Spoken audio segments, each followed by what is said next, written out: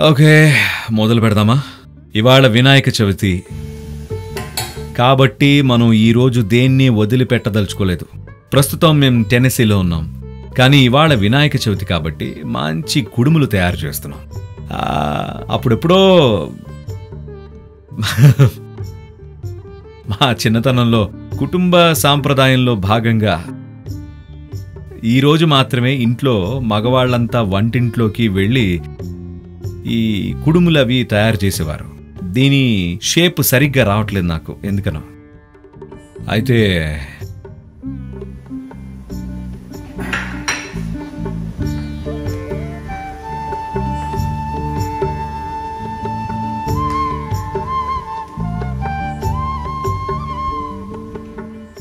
అయితే మా నాన్న ఈ బియ్యపు పిండితో ఒక చక్కటి ఎలుకను చేసేవారు.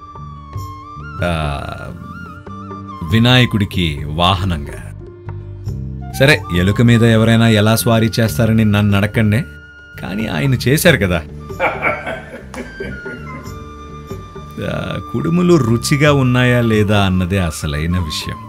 అదొక్కటే ముఖ్యం. అది ఎలుక రూపంలో ఉన్న మేము దాన్ని తినేసేవాళ్ళం. ఎందుకంటే అది అంత రుచిగా ఉండేది. అందుకే మనం ఇప్పుడు చేస్తున్నాం. మేము రెండు రకాలవి చేసేవాళ్ళం.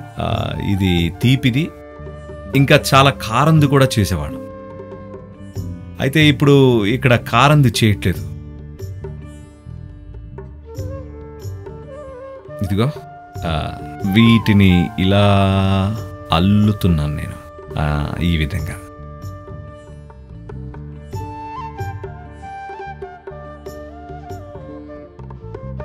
ఆ షేప్ అయితే పర్వాలేదు బాగానే వచ్చినట్టుంది.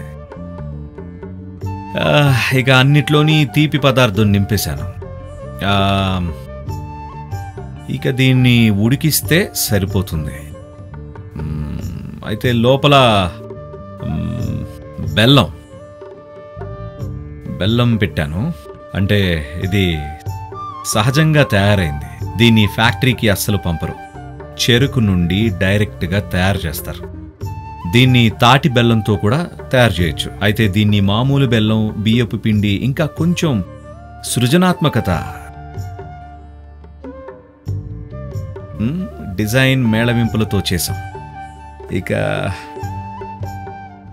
ఉడికించి తినడమే మిగిలింది. అది. ఇప్పుడు దీన్ని ఉడికించాలి. అలాగే తినకండి. ఊరికే మాత్రం తినేయకూడదు. ఆవిరి మీద ఉడికించి ఇక తర్వాత చూసుకోండి.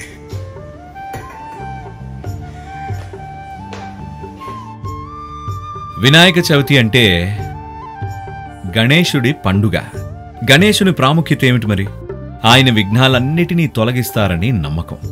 అంటే ఆయన వచ్చి మీ విఘ్నాలన్నిటినీ తొలగిస్తారని కాదు. గణేశుడికి పెద్ద తల ఉంటుంది కదా. అతని చిన్న తలను తీసేసి పెద్ద తల పెట్టారు. కాబట్టి అతను గొప్ప మేధావి. ఇంకా ఎంతో స్థితప్రజ్ఞత కలవాడై అయి ఉండాలి. ఒకవేళ మీరు మీ తెలివితేటల్ని చురుగ్గా ఉంచుకుంటూ మీ బుద్ధిని చురుగ్గా ఉంచుకోవడానికి ప్రయత్నం చేస్తూ ఉండండి. దీంతోపాటు దీంతో పాటు చాలా స్థిరంగా ఉంటే మీరు సమతుల్యతతో ఉంటూ మీ మేధస్సు చురుగ్గా ఉంటే విఘ్నాలన్నీ సహజంగానే తొలగిపోతాయి. కాబట్టి దీనికే గణేశుడు ప్రతీక. ఈరోజు ఆయనకే అంకితం. ఆయనకు తిండి అంటే చాలా ఇష్టం. ఆయనకు పెద్ద బొజ్జ ఉంటుంది. నాకు ఆయనంత పొట్టలేదు. పొట్ట విషయంలో అతనికి నేను సాటి రాలేనులేండి. కానీ మీకు పదునైన బుద్ధి నిలకడగా ఉండే బుద్ధి ఉంటే అప్పుడు జీవితంలో ఎటువంటి ఆటంకాలు ఉండవు.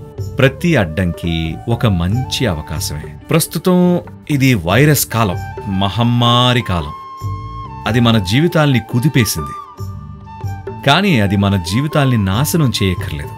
మన మేధస్సుని వాడి నిలకడగా ఉంటే ఈ మహమ్మారి కాలాన్ని కూడా ఒక గొప్ప అవకాశంగా మలుచుకోవచ్చు. చాలా సమస్యలున్నాయి. కానీ ఈరోజు గణేషుడి పండుగ.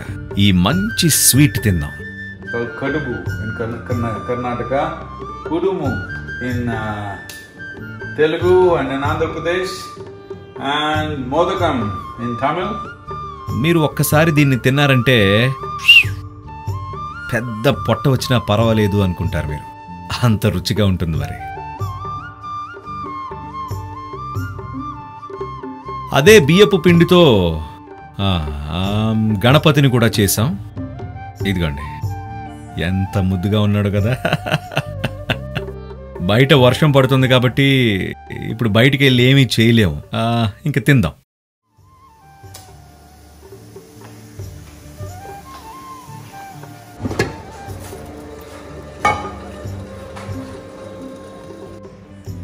bom.